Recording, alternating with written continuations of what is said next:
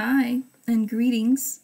It's Wendi Lee, and thank you for joining me to come to Yeshua, Lord Jesus Christ of Nazareth, on YouTube, and um, it's also known as Papa God Yahweh's prophetic and teaching ministry. Hello to everyone out there, and hope you're ready for a good Bible study, um, a deep dive into Father's message from September 23rd. I'm going to read it again, and then we will go through all the scriptures for it. Hallelujah. So before I do that, let's go into prayer. And please pray with me. Our glorious God Almighty, in heaven above, who sits upon your throne of grace, glory, mercy, and truth. We love you so much. We thank you for this opportunity to get together and listen to your message. And we thank you for your message.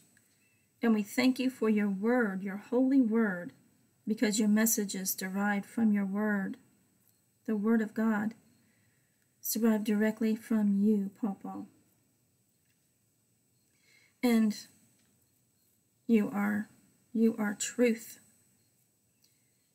Your beautiful and glorious Son is our way, our truth, and our life. And no one can come to you, Father, except by Him, except by King Yeshua. And no one can come to the Son, your only begotten Son, King Yeshua, unless the Father draw him. Please draw all souls into King Yeshua. We know by your word that you want no one to perish, that you are long suffering, and you wait for your precious fruit. We pray that you will reach out to everyone who lives on this earth as many times as it takes for them to accept your precious Son. King Yeshua HaMashiach, Lord Jesus Christ, the Anointed One, the Messiah, the light of the world, the bread of life. And as we as Christians, we can claim you, King Yeshua HaMashiach, as our personal Lord and Savior. And we can claim a walk with you all our own because it's just you and us individually. Thank you so much for loving us, for allowing us to have a relationship so personal with you. Thank you for giving us a shoulder to cry on. Thank you for having mercy upon us.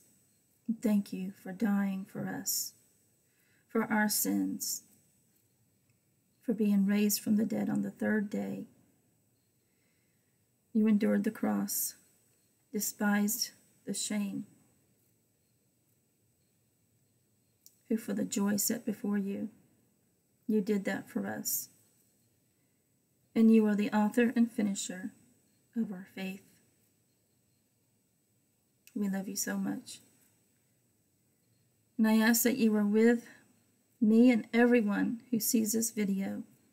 I ask that you bless this video, you anoint this video, and you give me wisdom to teach your children. You give me the wisdom to explain your word. We thank you so much. Please bless everyone in your ministry. Please help them go through whatever fires they're going to. Let them see you in, in it. Let them see you waving to them out of it, out of the tunnel. Let them see you. You are the, at the end of their tunnel, at the end of their fire. at the end of their refinement, at the end of their storm. And you are in the valley with them at the same time. For you go before us and you prepare you prepare for us a way in this life. And we thank you so much for it. And please be with me as I read your message, Father. In Jesus' mighty name, by the power of the Holy Spirit, to the glory of God the Father. Amen. Thank you for praying with me. And here is Father's message, excuse me, from September 23rd, 2023 at 11:29 a.m. Daughter, this is your lowly and meek King Yeshua, God Almighty. Tell me, children, what and who is your God? Can he create without anything beforehand? Can he use anything for his purposes alone? I tell you, I am the only God, and there is none other. Children, do you realize that your God if he is not me, is made up by man. I am eternal. I was, is, am. I have always been and always will be. Can your God bring you blessings from above? Why is it you seek a God who can do nothing? Your God cannot speak, move, or hear. Do you realize that it is I who allow you free will? What do you have to do for man's created God? Do you have to do all things with great fear of your God? I am Yahweh. I am your greatest fear. And yet you acknowledge your pride and stick your nose in the air and bow down to man's image. Thou shalt not have any gods before me. I am Yeshua, have cared for you, and thought about you, and loved you before I brought you to be. Yet you toss me aside every time I reveal myself to you. I tell you that a day of reckoning is coming, and you will cry out to your God, but he will not hear you.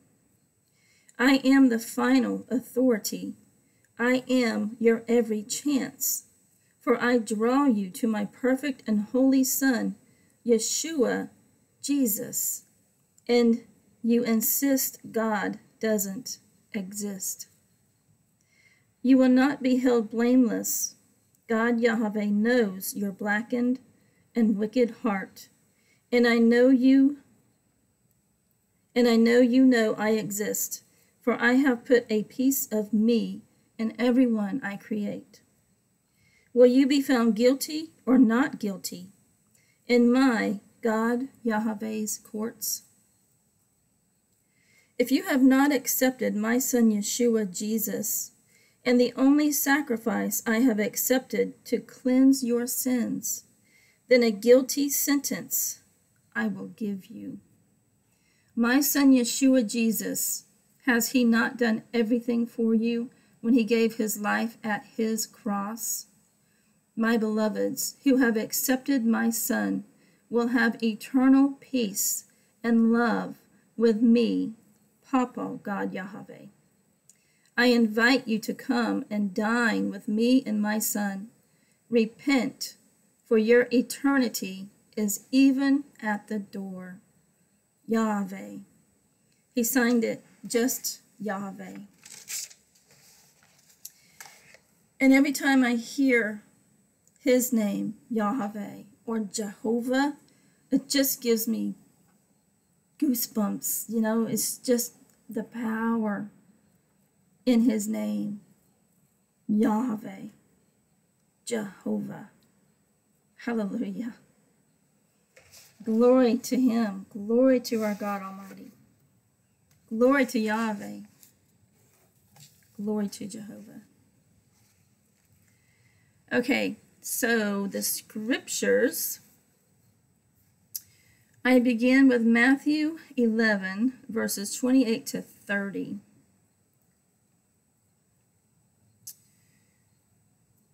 So here it goes Come unto me, all ye that labor and are heavy laden, and I will give you rest. Take my yoke upon you and learn of me, for I am meek and lowly in heart, and ye shall find rest unto your souls. For my yoke is easy and my burden is light. I took that directly from his introduction because he says, Daughter, this is your lowly and meek King Yeshua, God Almighty. And here, this is Jesus speaking in Matthew, saying this that he is meek and lowly in heart. So that matches what he says in his in his message. And let us cast off, cast off our heavy yoke and heavy burdens, and take up his light yoke and his, I mean, his easy yoke and his light burden. Now, I took the liberty of looking up in Strong's what King Yeshua is meaning by his yoke, what his yoke is, according to the Strong's dictionary. And it said it is a coupling, a useful, gentle, pleasant, kind, servitude. Also, the beam of the balance. That's King Yeshua's yoke. Servitude. Remember, we were talking, it's about our walk with Him, being exclusive to Him and no one else our walk in King Yeshua, our own walk. We are responsible for our own burdens. It's our own walk. And when we walk with Him, we carry, we, we I don't even want to say carry, we receive His yoke, His easy yoke, which means useful, gentle, pleasant, kind. It means servitude, it means the coupling, and it means the beam of the balance. So so he is keeping us in balance as we walk, right? We turn this way a little bit, he'll straighten us back up.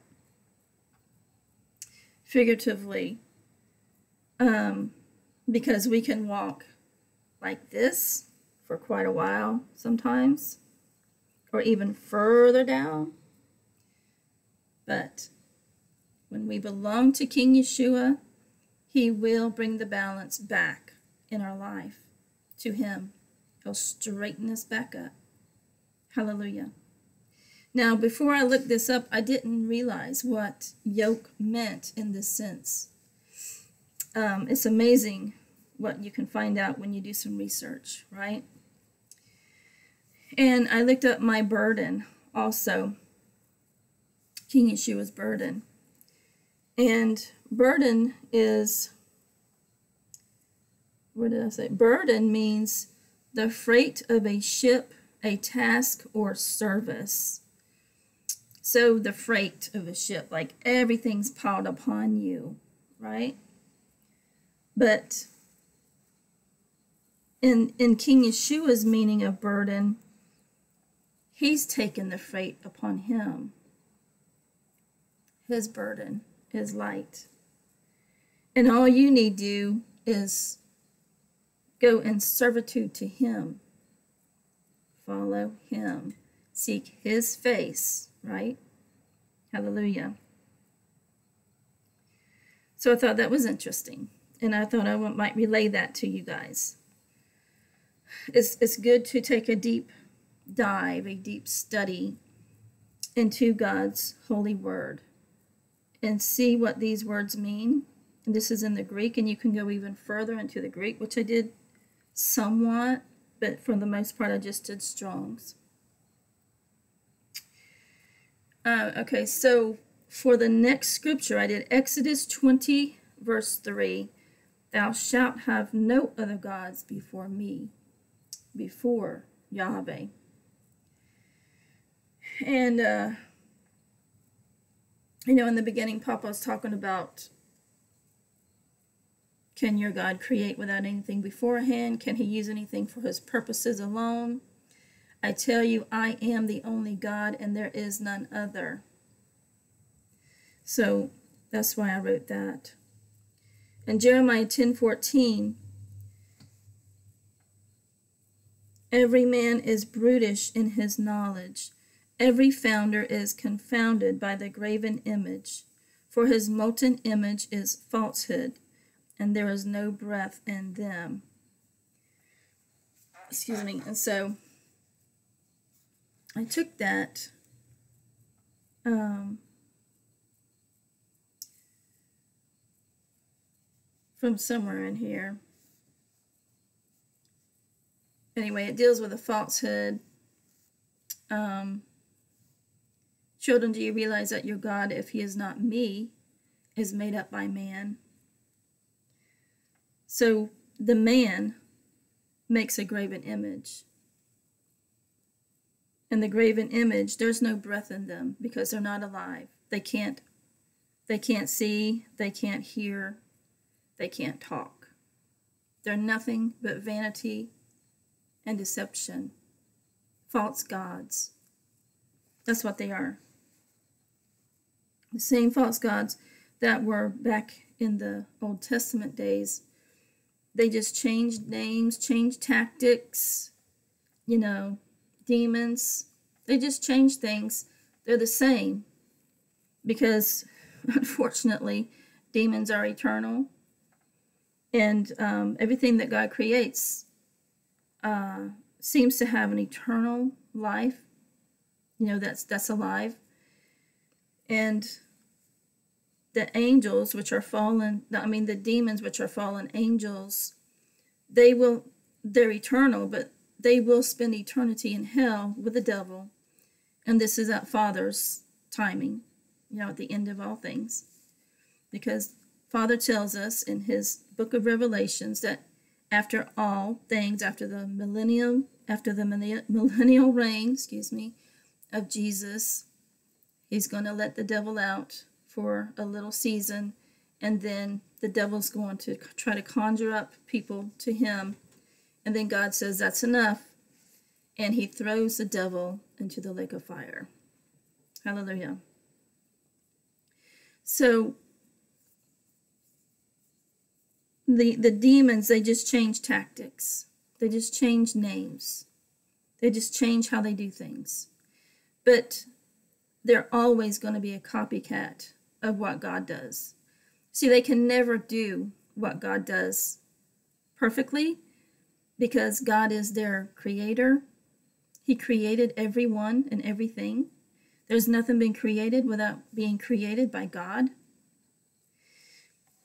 And God knew when He created them what they would do. But He uses the evil, this fallen world, to refine us, give us a tighter walk, a closer walk with Jesus. Yes, He does. So, Isaiah 45 6 that people may know from the rising of the sun and from the west that there is none besides me. I am the Lord, and there is no other. Well, this is what he says. I am the only God, and there is none other. Children, do you realize that your God, if he is not me, is made up by man? I am eternal. I was, is, am. And I probably recorded this because he says, There is none besides me. I am the Lord, and there is no other. So Deuteronomy 27 15 Cursed be the man that maketh any graven or molten image, an abomination unto the Lord. The work of the hands of the craftsman, and putteth it in a secret place.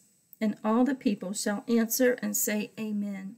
Now, just from memory, I didn't write this down, but I looked up abomination in the Strongs, and it's detestable. God detests certain things, and they are an abomination unto him.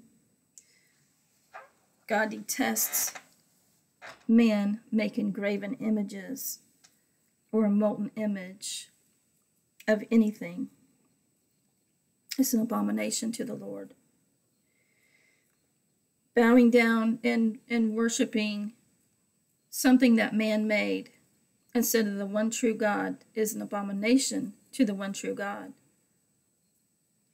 Because he reaches out to everyone, and everyone just, not everyone, people just push him aside, unfortunately. All right, Revelation 1 8. I am Alpha and Omega, the beginning and the ending, saith the Lord, which is, and which was, and which is to come, the Almighty. And I, I wrote that. See, all this scripture I'm I'm writing because Papa's talking about how he is eternal. He is the one true God. There is none else beside him.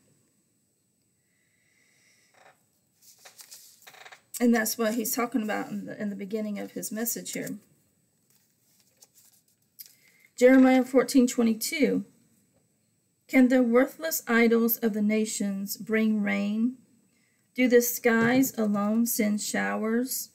Is this not by you, O Lord our God? So we put our hope in you, for you have done all these things. That's Jeremiah 14 22. And I wrote that because he says something about can you receive blessings? Let me find it here. Can your God bring you blessings from above? Only true God can. But the worthless idols of the nations, can they bring you rain? Can the skies alone send showers? No, only the one true God can bring rain, can bring showers from the skies. Only the one true God can send snow. Only the one true God can give you blessings from above. So, uh, I'm trying to think of that scripture where he says he gives good and perfect gifts. That's in James. I just want to find it because when I'm talking, I can barely remember what the scripture says. So I end up paraphrasing. So let me go to James. Every good gift, this is uh, James 1.17. Every good gift and every perfect gift is from above, and cometh down from the Father of lights, with whom is no variableness, neither shadow of turning. You can trust him. He doesn't change his ways, he doesn't change his mind. He is solid as a rock, because God is our rock. Hallelujah. And he is the only one that can give us good and perfect gifts from above. Hallelujah. Hallelujah. Thank you, Lord Jesus, for all of your perfect gifts from above. And so Jeremiah is saying, Is this not by you, O Lord our God? So we put our hope in you, for you have done all these things. Going back to, He's the only one that can give us good and perfect gifts, blessings from above. Isaiah 41 29. Indeed, they are all worthless. Their works are nothing. Their molded images are wind and confusion. So I wrote that because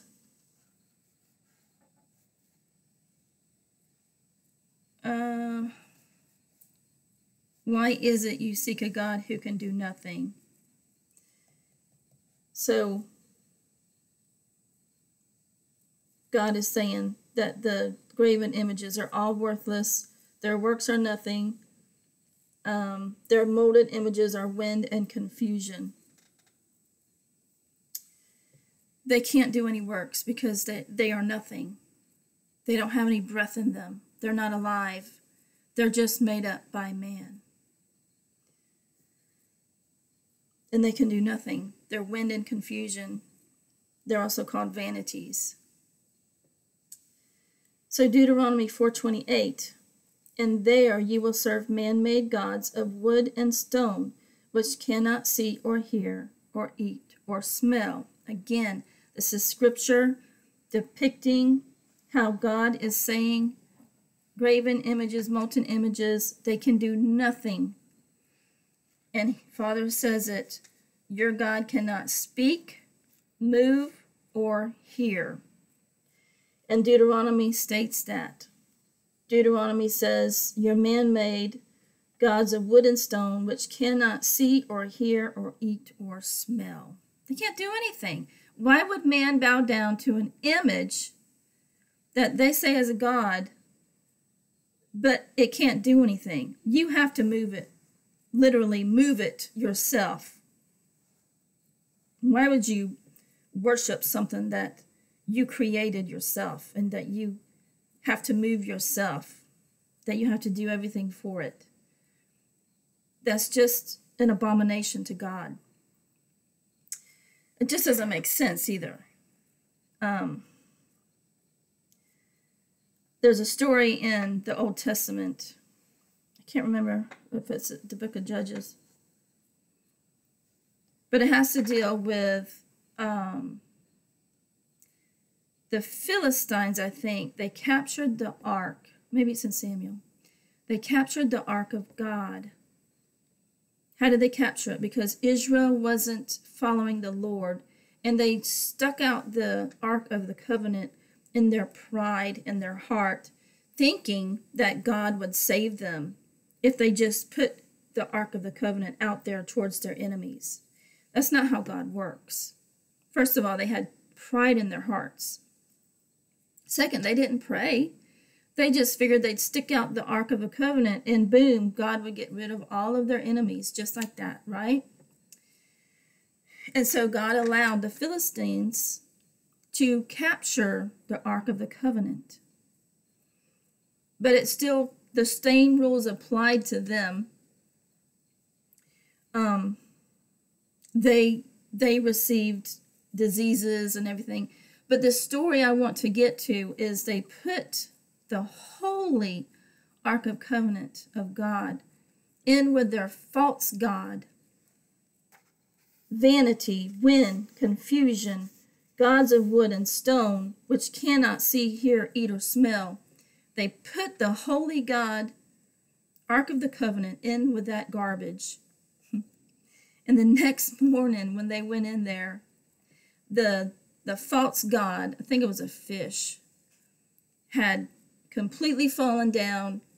And I, I, I can't remember, but I like there's several times that this happens, but I think the first time uh, he might have lost a head.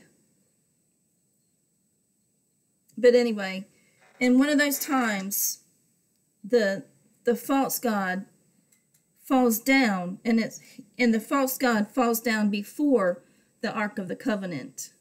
Hallelujah and loses the head because when it falls and crashes to the ground, because it's nothing, remember, it's nothing, it loses its head. Hallelujah. Tell me God doesn't have a sense of humor. Glory to God. Glory to God. Just read that whole story. It's just fascinating and you you will end up laughing about it. It's it is really funny. But uh not in the sense as you know people getting diseases and stuff but it, it's just funny. You need to read it. And i think it's in um, maybe samuel maybe judges i can't remember. But look for it. Definitely look for that that story because it's it shows god is everything. Nothing can get ahead of god. Nothing can get above god. God will humble you he will humble you. Hallelujah. So Joshua 24 15. And if it is evil in your eyes to serve the Lord, choose this day whom you will serve, whether the gods your fathers served in the region beyond the river, or the gods of the Amorites in whose land you dwell. But as for me and my house, we will serve the Lord. Isn't that just beautiful? I'm one of these days I'm going to get that scripture and put it on my wall. I don't have it yet though. One day I'm going to get it. Um, I put that because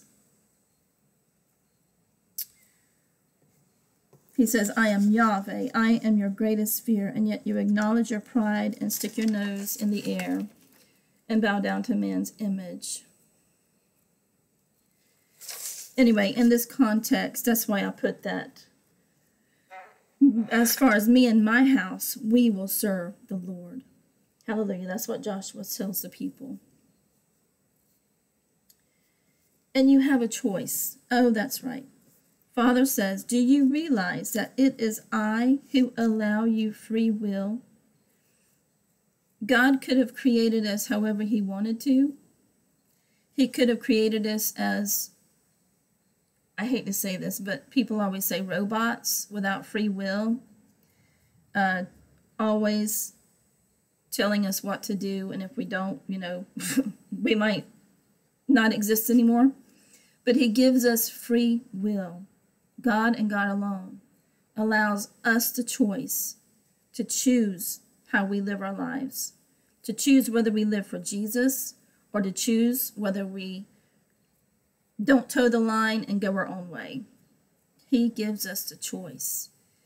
In every stage of our life, every season of our life, He gives us a choice, but He is always, always, always, always trying to get our attention.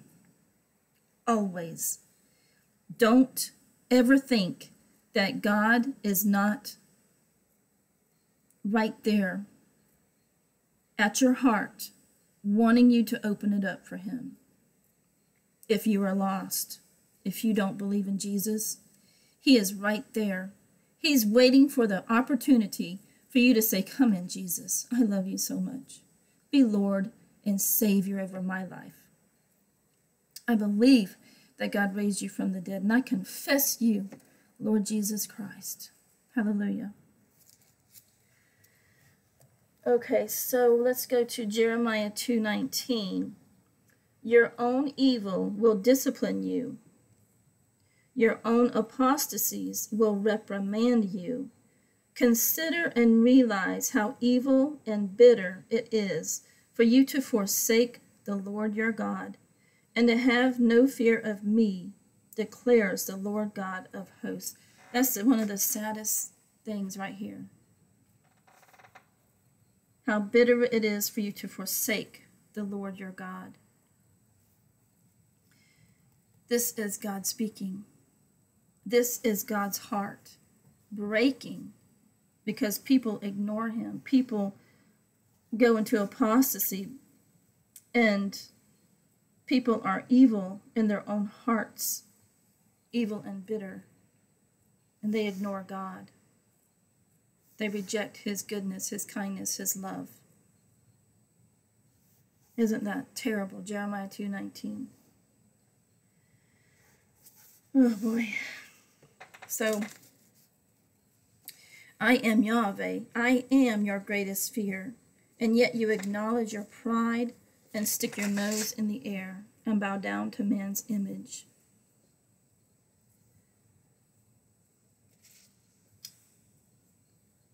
Okay, Matthew 10 28. Do not be afraid of those who kill the body, but cannot kill the soul. Instead, fear the one who can destroy both soul and body in hell. That's, that's, that's a deep one. That's a deep one. because because Papa Yahweh says, I am your greatest fear. The fear of the Lord, the awe of the Lord, because he's holy and righteous and true. And he's a righteous judge. Hallelujah.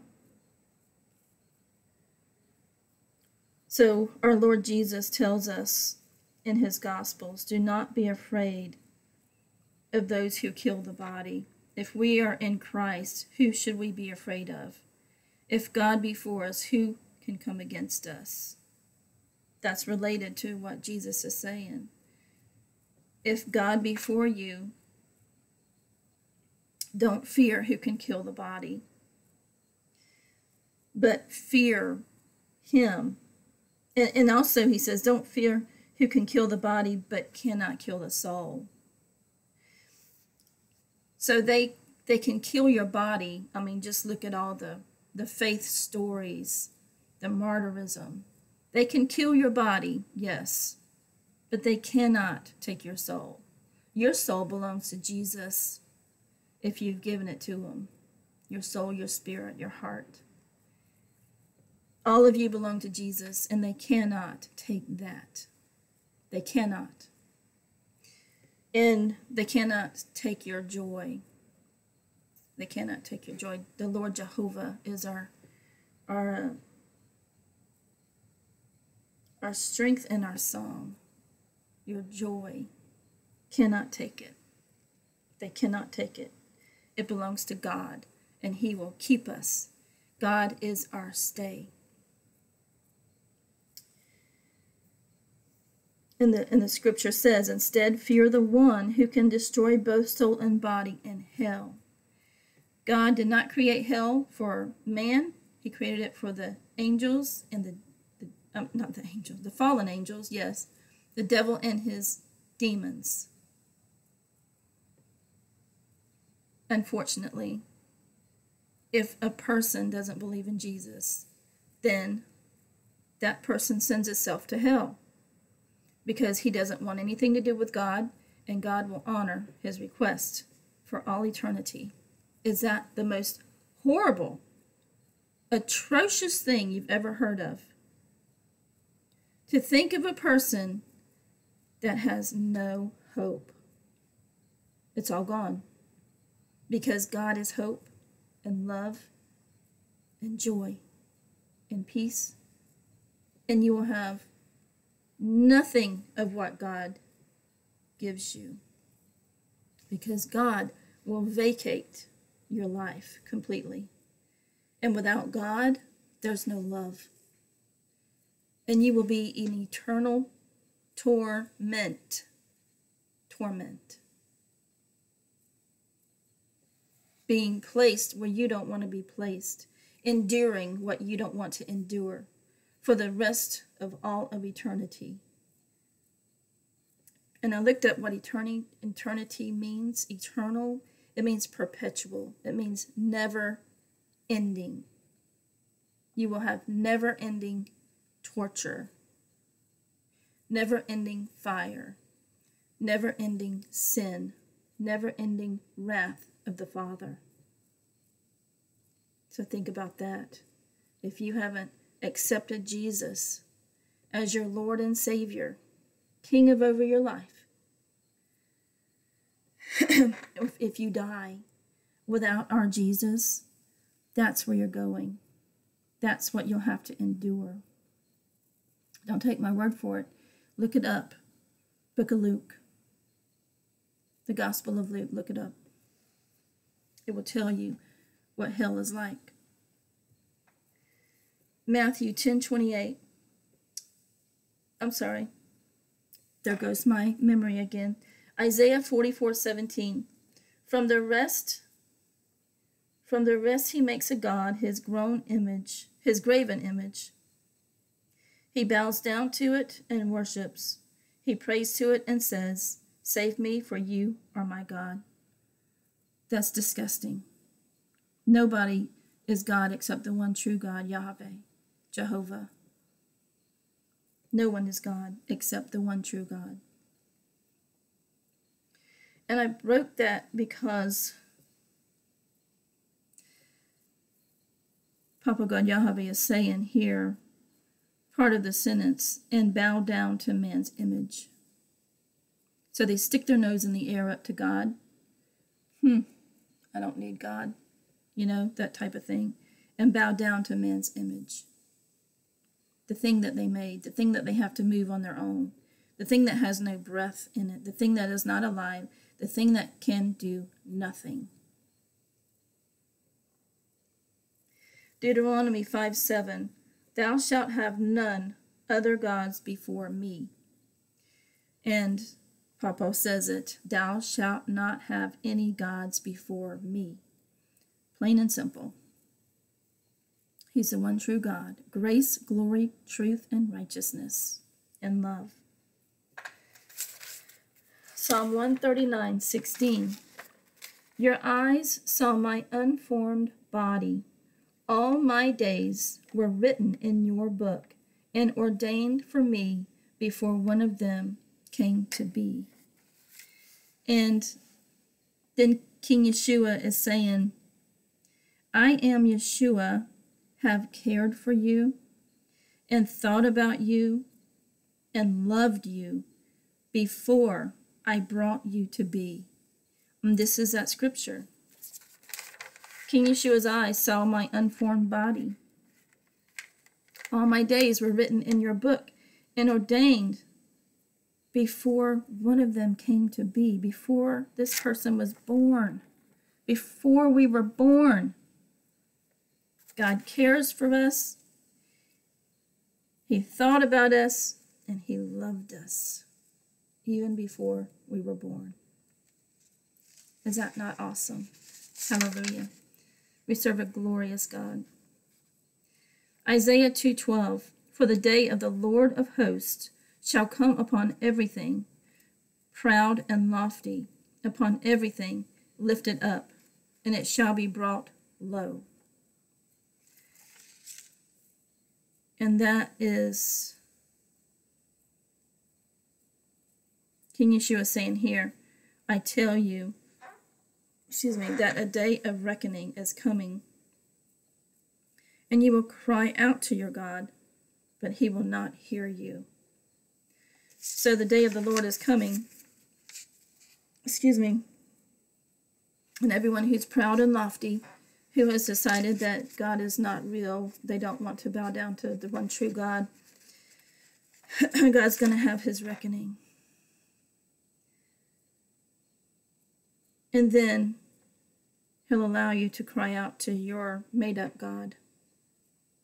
But your made up God will not hear you and your made up God will not rescue you. It's going to be a sad, sad day. God's day of reckoning. The day of the Lord of hosts is what Isaiah is calling it. It shall come upon the proud and the lofty, upon the lifted up. In other words, they're sticking their nose up in the air at God, just like Father says. And I looked up I looked at what the word low meant in uh, in Strong's, and it shall be brought low. Everything high and lifted up shall be brought low. And the the word is I'm going to try to pronounce this Greek word, but you know it's not probably not going to be right. Sheaphel. I think that's how they pronounce it. And it means to be abased. It means to be humbled. It means to be humiliated. So everything that's lifted up and high and lofty and proud without God, without seeking God, will be brought low, abased, brought down to nothing,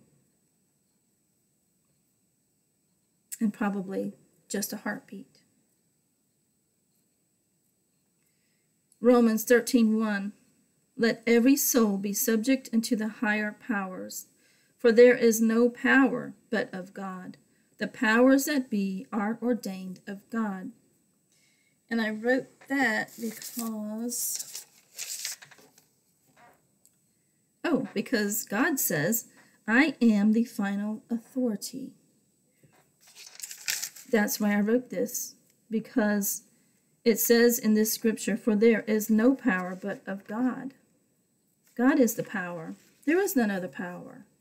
And he gives out he gives out the power. He ordains the power to who he chooses. The powers that be are ordained of God. So he ordains people to have power. That can mean several things. That can mean the law. That can mean several, several things. And um, he ordains it. He's the only one that can ordain power to someone because he holds all the power. He is the power. Hallelujah. He is a final authority, as he says in his message. All right, John 6 44. No man can come to me except the Father which hath sent me draw him, and I will raise him up at the last day. And so Papa says here, For I draw you, well, he says, I am your every chance, for I draw you to my perfect and holy Son, Yeshua Jesus. And so he also says, and you insist God doesn't exist. So that's why I wrote John 6 44, because it's saying right here, no man can come to Jesus, the Holy Son of God, unless the Father, which has sent him, draw him, draw the person. You can't come to Jesus unless the Father draw you. And I looked up the word draw, what draw means in this in this uh, context, and it means drag, draw. I don't know why they put the same word in as a description, but drag, pull, persuade, unsheath. So you are disarmed from all your pride and, and all that. You have to come disarmed to come to Jesus. It means persuade. Father will persuade you to come to his son. Father will pull you to his son. Father will drag you to his son if he has to, in some cases. But no one can come to the Son except the Father draw him. And that is mentioned twice in the book of John, chapter 6. So it is so very important that we know this, that we know that. And he disarms us when we come to Jesus. Because when you come to Jesus, you are at the end of yourself. You realize that you have sinned against the mighty and holy true God. And it just upsets you to the uttermost. And you ask for forgiveness, and Jesus forgives you. Hallelujah. What it does not mean is that you have to change before you come to Jesus. It simply means you have been humbled. You have been humbled. Don't try to change yourself. It's only Jesus can break those chains, right? Only Jesus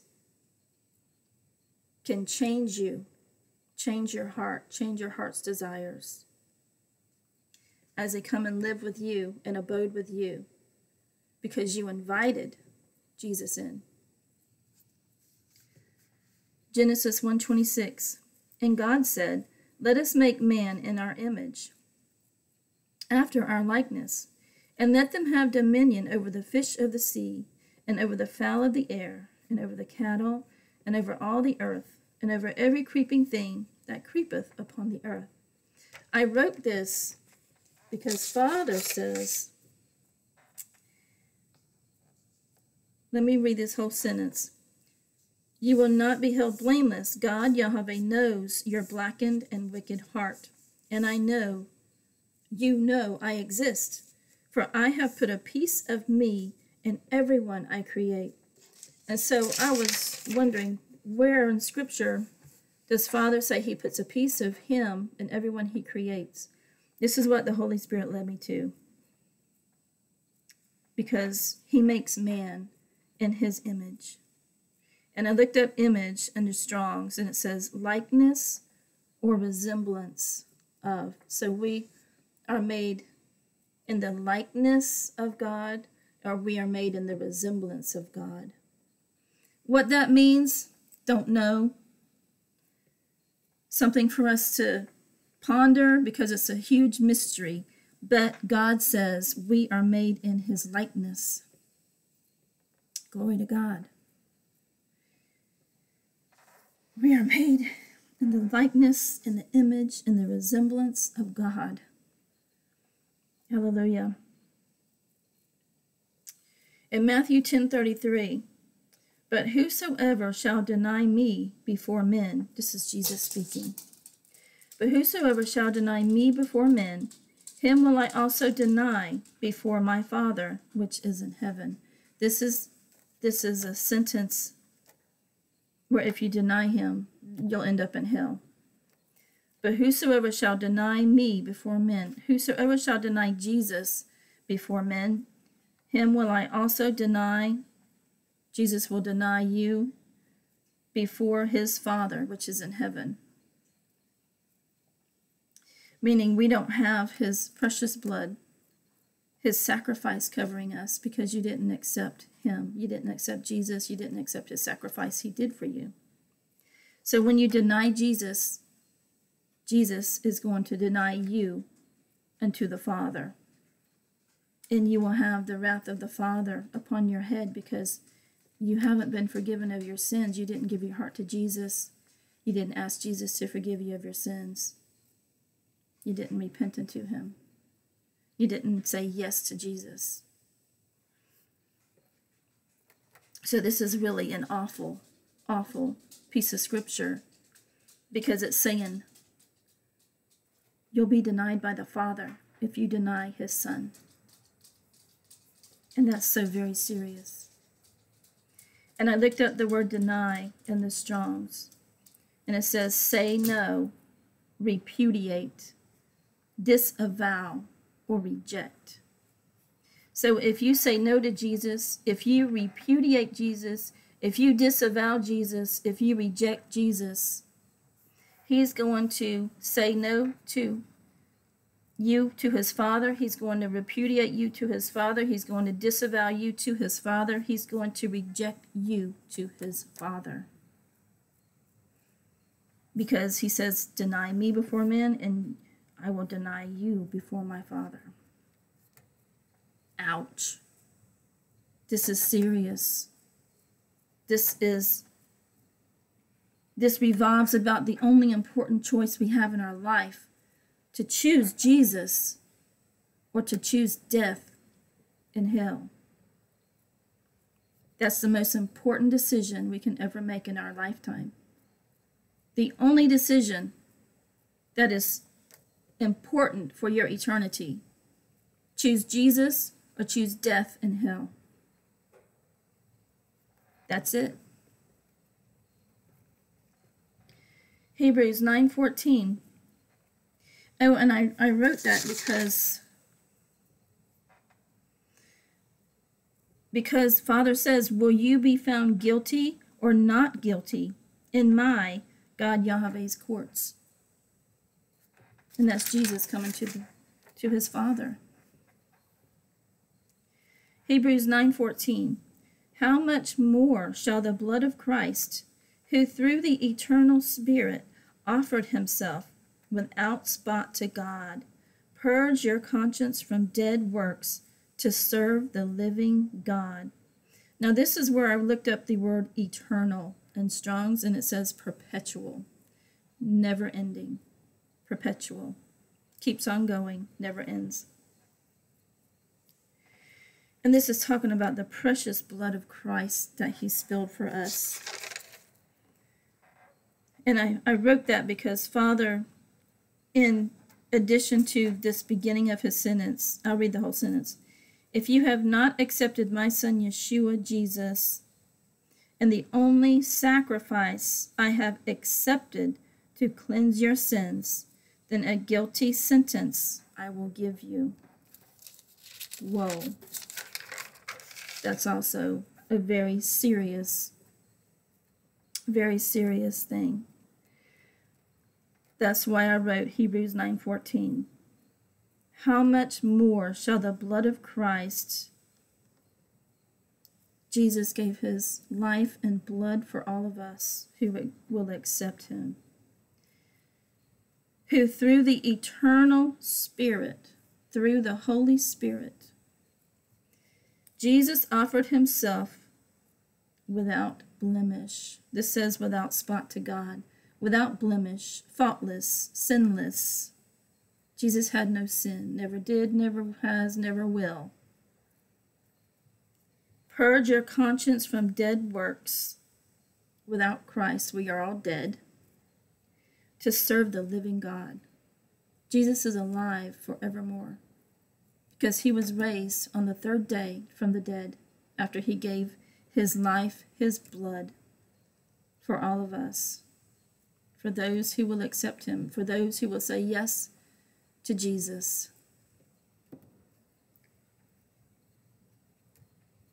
Glory to God. Okay, so the next scripture, um, yeah, my son Yeshua Jesus, he not done everything for you when he gave his life at his cross.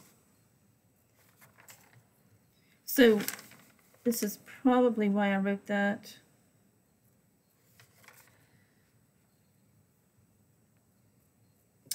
I will say this next scripture is, let's see what I have over here.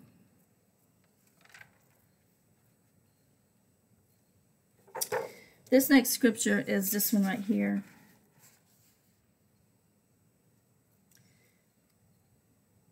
John 3:36 He that believeth on the Son hath everlasting life and he that believeth not the Son shall not see life but the wrath of God abideth on him. This is that scripture that I keep quoting to you guys. If you are not in Jesus, you will have the wrath of God abiding on you forever. And this is when Father saying, Then a guilty sentence I will give you. If you believe on his Son, you have everlasting life. And you if you do not believe on the Son, you shall not see life, because Jesus is life. But the wrath of God will be, uh, wrath of God abideth, abideth on him. I looked up, okay, I looked up several things in this scripture. I looked up the word life, what, what life is representing here. It means physical and spiritual life. Because we will eventually we will have an incorruptible body but it will be our body. It will be a resurrected body and spiritual because we will be with Jesus in spirit for all eternity.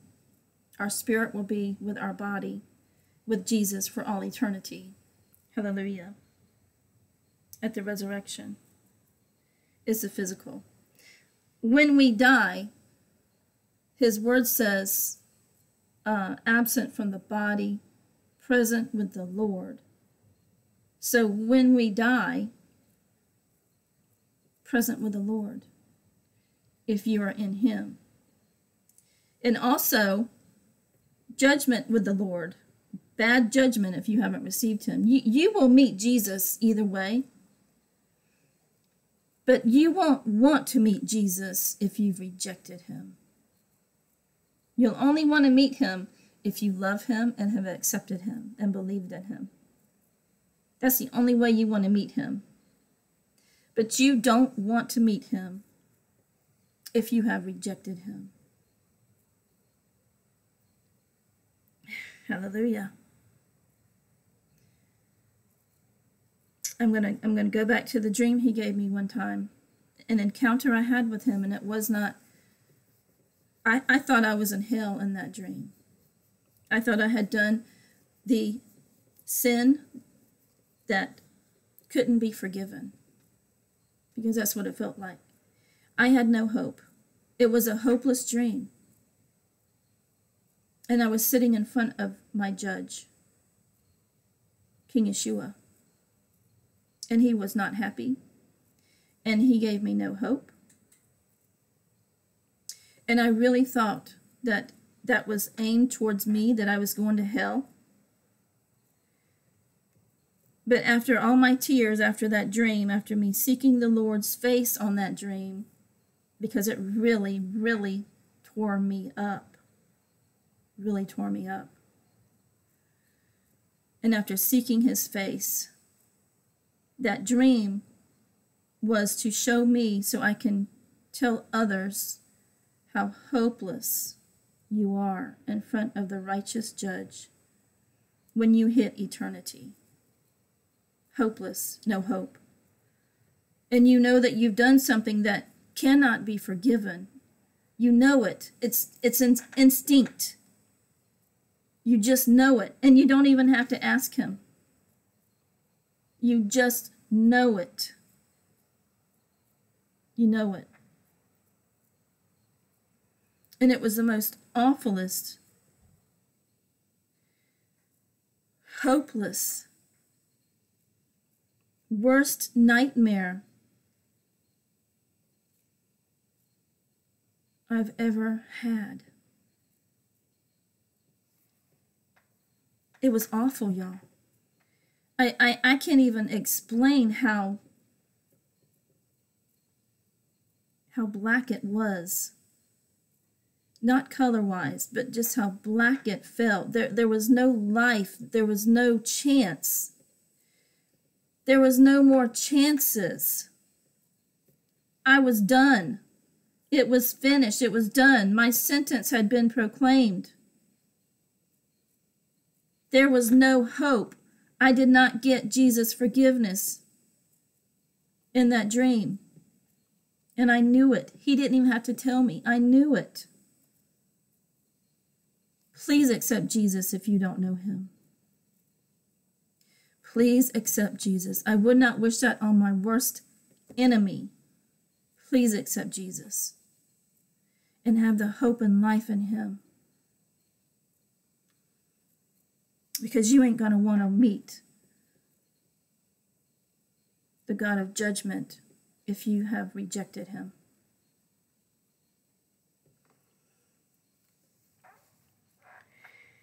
And I looked up the word wrath. Well, let me go back here. I looked up the word believe.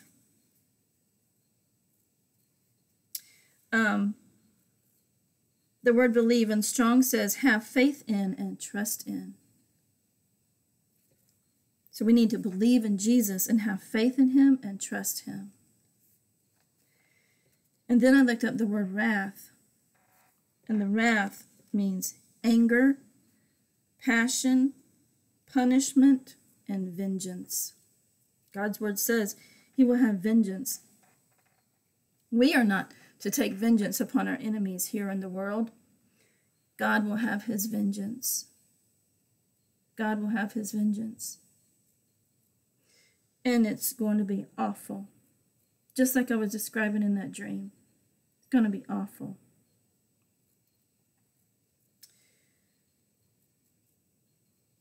And you're not going to have another chance.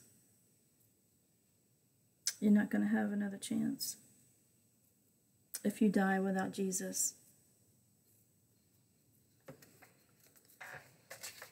So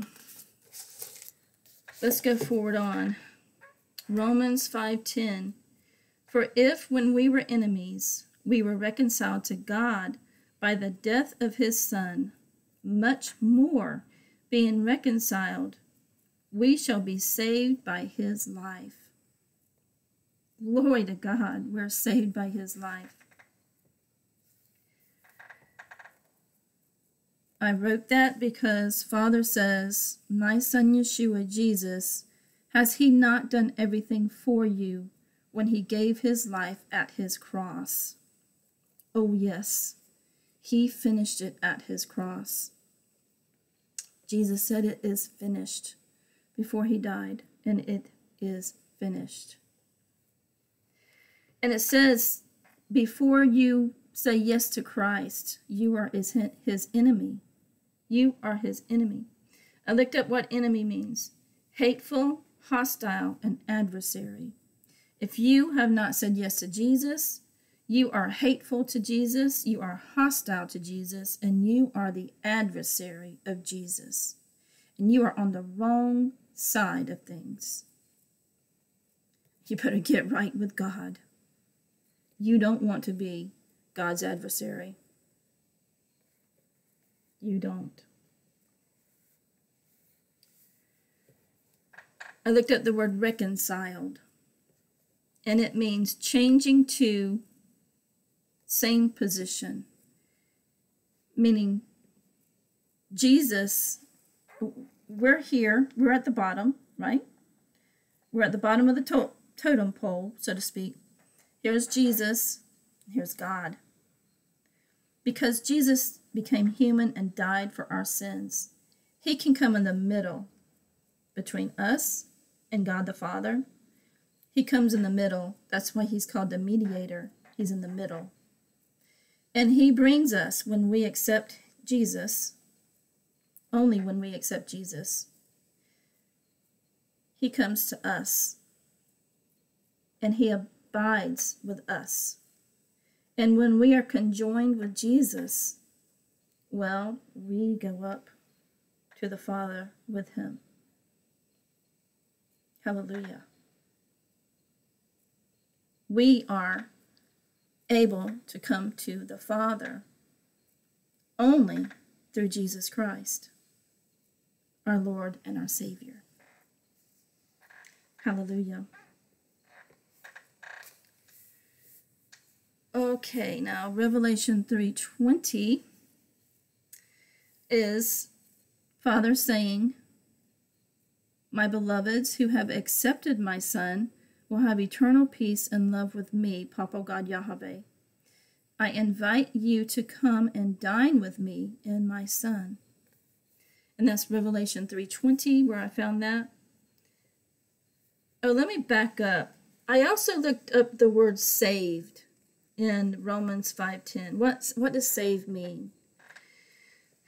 And it means to heal, to preserve, to to rescue believers from penalty and power of sin. Remember, if you don't have forgiveness of sin, you have the wrath of the Father abideth on you forever, for all eternity. So when you are saved, when Jesus saves you, he rescues he rescues you from penalty and power of sin. Glory to King Yeshua. Glory to King Yeshua. Thank you for rescuing us from the power and penalty of sin. Hallelujah. So that's what the word saved means in that in that scripture. Now let's go back to Revelation 3:20. Behold, I stand at the door and knock. If anyone hears my voice and opens the door, I will come in and dine with him, and he with me. And of course, I wrote that. Father specifically says, Dine with me and my son. Hallelujah. He says also, he invites us to come and dine with him and his son. And this is saying, I stand at the door. Jesus stands at the door and knocks. And the word stand means sets up, shop. Well, I wrote this. It means sets up, right? Stand, set up, don't move. And I said, sets up shop beside our heart, waiting. Jesus doesn't leave.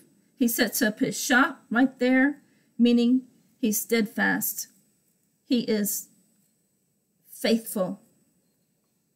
And he waits at your door for you to open it and let him in. He won't he won't barge himself in though. He won't. And uh, I looked at the, the word door also. And the word door means opportunity and in, or entrance, opportunity or entrance. So he's given you the opportunity to accept him. Please take it. Please take that opportunity. And he'll offer it to you and offer it to you and offer it to you. You must be cognizant enough to recognize Jesus is knocking on your door. Are you going to open it for him? Or are you going to leave him there? And so when you invite Jesus, you have the Father and the Holy Spirit with you also.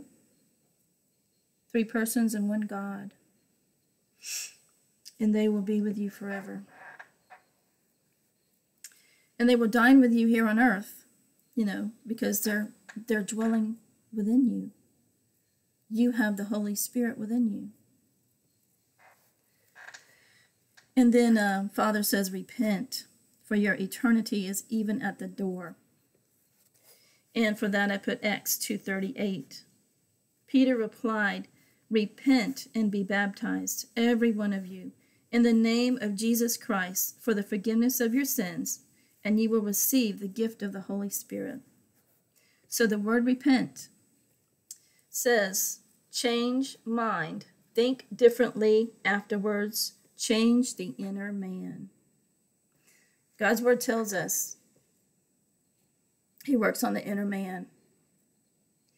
And we need to repent of our sins all the time. We're going to mess up, we're going to sin. And when we sin, we need to repent. And if we are in a um, like a long, hard road of sin that we can't get out of, have perseverance. Persevere in Jesus. Keep knocking and asking. Just keep repenting and let God know that you're serious about repentance. Because that, that's a stronghold. That's a stronghold. And then there's the other kind where sin keeps a hold of you and you know it and you're prideful about it. See, a, a stronghold that I was talking about earlier, you want to come out of it, but it's a stronghold, it's holding you. The prideful sin is flaunting it in front of God. That's a prideful sin, and, and it holds you captive. And you need to recognize that. You need to recognize your sinful pride, because that's what brought the devil down. It's his pride. You need to recognize your sinful pride. Stop flaunting it in front of God.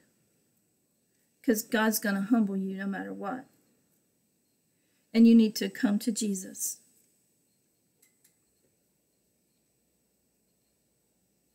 Haughty looks, God will bring down.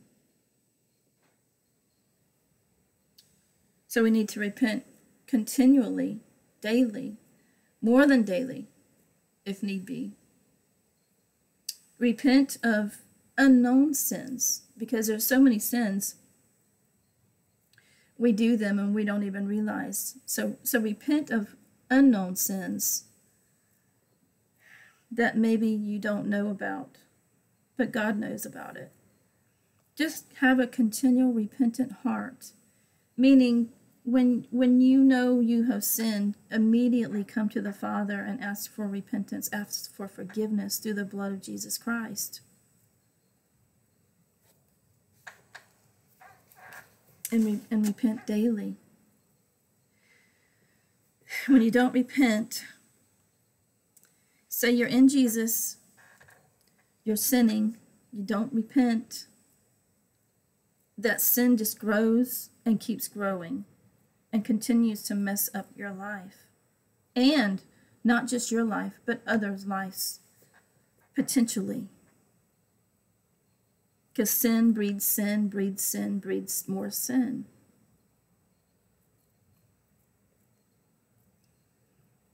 So let us continually repent. And I looked up the name in Acts 2.38. I looked up the word name, and it means character, fame, or reputation. So Jesus, his character, his fame, his reputation is all in his name. And it's all good. Hallelujah. I looked up the word sins, and it means failure or fault. We have failed God in our sins. And we need to ask for forgiveness of our sins through the mighty blood of Jesus Christ. And I looked up uh, when it's saying you will receive, I looked up receive, and it says get, take, lay hold of. So you will you will lay hold of the gift. The gift meaning you receive it without repayment. It is freely given, not acquired by merit or entitlement. We don't deserve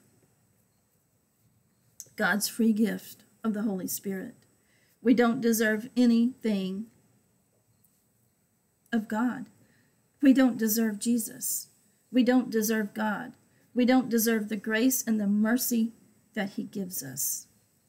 He gives it because He loves us that much.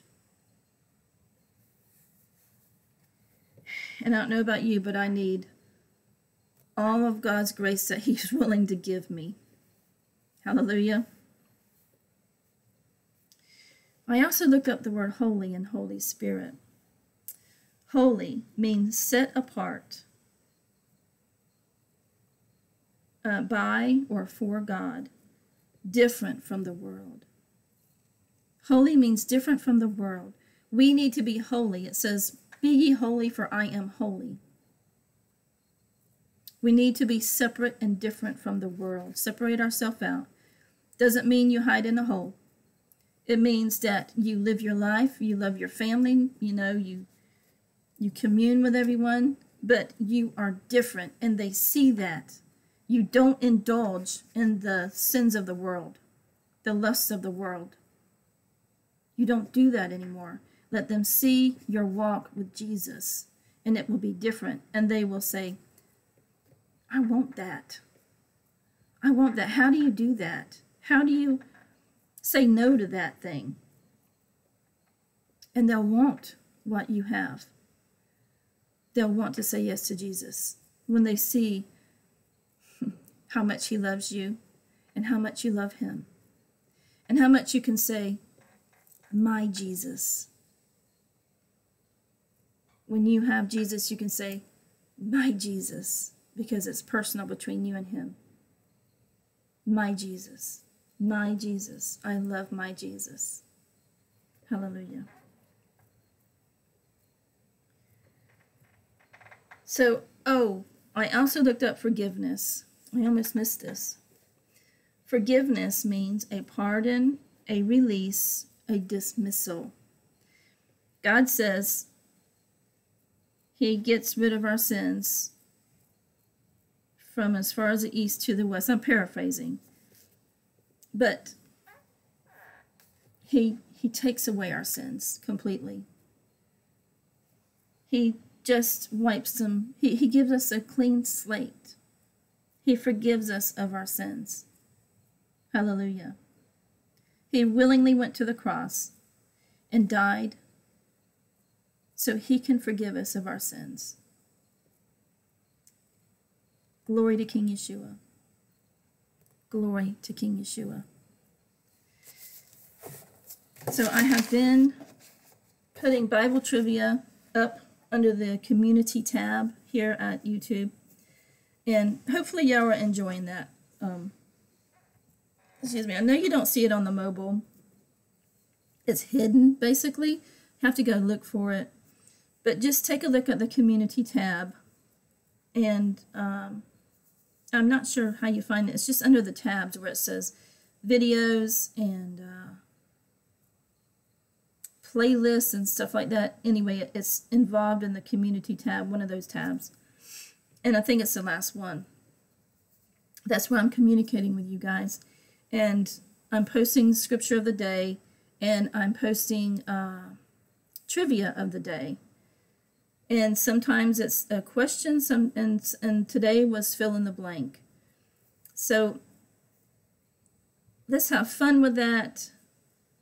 Let us take the dive into the scriptures with that and perhaps it will help us memorize scripture in a fun way in a fun way also the scriptures that i do for father's messages for myself so i can start trying to memorize things. I, I'm writing them down. I'm writing even though I can copy, copy and paste on the computer, I'm writing them down. My hand is actually, you know, I, I'm trying to remember while I write them. And if I write them enough, maybe I'll start remembering them. I want them to be digested. I want to digest all of His Word that I can get. I want His daily bread. How about you? Do you want the daily bread of Jesus? So maybe the Bible trivia, you'll enjoy it and have fun. And maybe it'll help you remember something. Definitely look at the scriptures that we just went over for Father's message because it relates directly to his message. Glory to God. So I will be back with another message of Father's. And um, I hope everyone has a good evening or whenever you watch this. And I pray that Father will bless everyone. I pray that if you are not saved, if you have not said yes to Jesus, that you will say yes and accept Jesus and believe in him and allow him in your heart. Allow him to begin a good work in you, and he will perform it until the day of Jesus Christ. Hallelujah. And I'm going to quote 1 Timothy 1:17. To the King eternal, immortal, invisible, the only wise God, be honor and, gl- and glory forever and ever. Amen. Baruch Hashem Adonai. Blessed be the name of the Lord. And I need to mention here that Father God Yahweh has commissioned me for three and a half years to proclaim that the King of glory is coming, and who can stop him? Make straight his path. Hallelujah. Are you being a wise virgin, or are you being a foolish virgin? Please look at your walk with our Lord and Savior Jesus Christ. Hallelujah. In King Yeshua's mighty name, amen.